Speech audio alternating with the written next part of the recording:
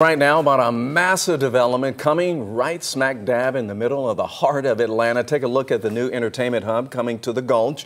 That's the underdeveloped area near State Farm Arena and Mercedes-Benz Stadium. 11Alive's Teresa Bowles is live tonight from the site with more on plans to actually transform that area. Teresa?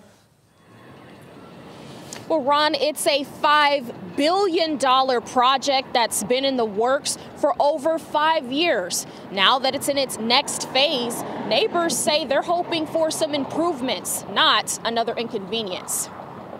Right now, it's a parking lot. We have a 50 acre hole in the middle of our downtown that makes it not walkable, disconnects communities. But Centennial Yards president Brian McGowan says two years from now, the Gulch will look more like this. This is going to fill the hole in the heart of the city. The empty space in front of State Farm Arena is getting a makeover. Similar to the Battery, McGowan says you can expect apartments, hotels, restaurants, and retail. So it's going to be a new neighborhood.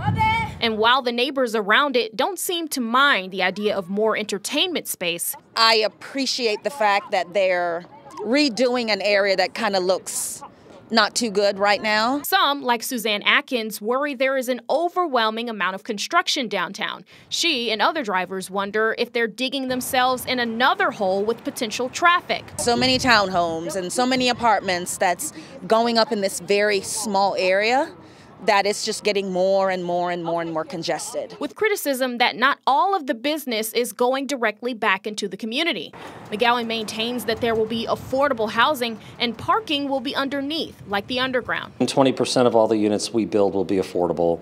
Uh, we also have a 38% minority female business enterprise goal. The surrounding community will hold McGowan to his word with the hope that big events aren't the only thing organizers are keeping in mind, but also the future. After FIFA is gone, you know, hopefully we can sustain the area.